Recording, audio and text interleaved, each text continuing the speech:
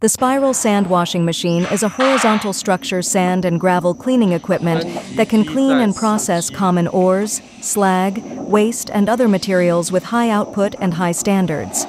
The spiral sand washing machine mainly stirs the sand and gravel materials through the spiral device in the equipment so that the soil and water in the sand and gravel materials are mixed and discharged from the outlet on the equipment. The sand and gravel are gradually screened under the action of the spiral device and discharged from the discharge port at the top to complete the cleaning and screening of the sand and gravel. The spiral sand washing machine has a simple structure, few parts, and a low failure rate.